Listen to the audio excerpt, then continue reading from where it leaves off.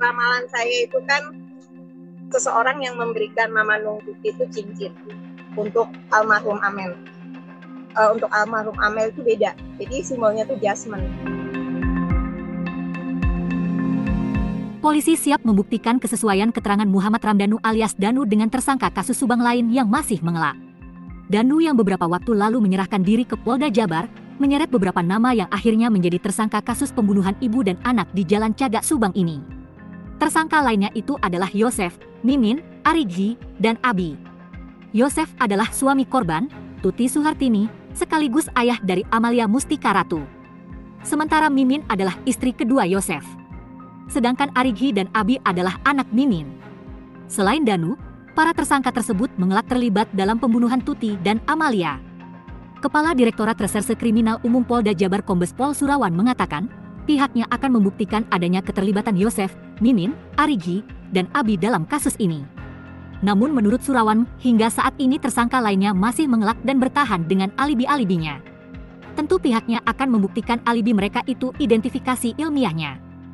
Sementara itu, polisi juga telah mengamankan beberapa barang bukti baru yang ditemukan saat olah TKP ulang. Menurut Surawan saat olah TKP ulang, pihaknya menyusuri semua dari depan, dalam TKP hingga belakang TKP. Bahkan sempat menggali tempat sampah di belakang TKP untuk mencari barang bukti. Dalam olah TKP ulang ini ada beberapa barang bukti yang tim Inavis dan Puslap amankan. Di antaranya sarung atau serangka golok yang ditemukan di lokasi tempat pembuangan sampah. Selain menggali tempat pembuangan sampah, polisi juga menyusuri kawasan belakang TKP hingga perkebunan kacang panjang. Sebelumnya, Mimin dan kedua anaknya mengelak bahwa mereka terlibat dalam kasus pembunuhan Tuti dan Amalia.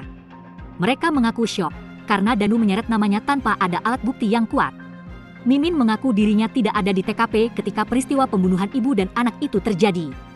Seperti yang dituduhkan Danu kepada penyidik, hingga akhirnya penyidik menetapkan dirinya dan kedua anaknya sebagai tersangka dalam kasus tersebut. Ramalan saya itu kan seseorang yang memberikan Mama Nung itu cincin untuk almarhum Amel. Uh, untuk almarhum Amel itu beda. Jadi simbolnya itu jasmine. Jasmine itu keluarga, ada sosok perempuan dan ada dua laki-laki. Kalau ditanya uh, totalnya berapa, prediksi saya itu totalnya tuh tujuh. Ya, dan tadi kan sempat dicari golok. Nah, penerawangan saya itu elemennya tuh air, goloknya tuh dibuang ke air. sungai atau ke mana lah.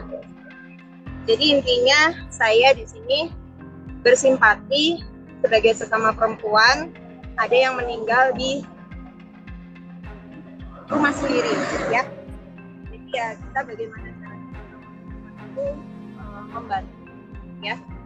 Awalnya memang saya diminta untuk mengawal tim dari Mabes saat uh, hari ke-39 kejadian, hari ke-40 kan mau tim forensik datang.